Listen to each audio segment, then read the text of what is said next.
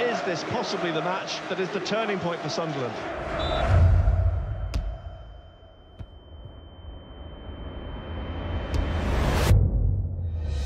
Sunderland is a massive, massive footballing city.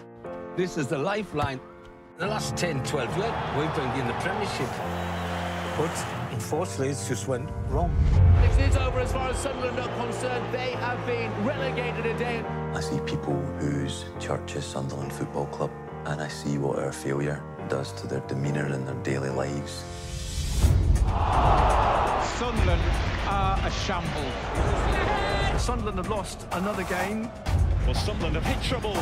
Makes you wonder, are we going to make a change? We need to make a change. We don't want the same season as we had last year. It's a new chapter for the club, and if we approach it with the right manner, promotion. I genuinely believe that Sunderland Football Club has a future. That's what gets me out of bed in the morning. So it's chaos, you know.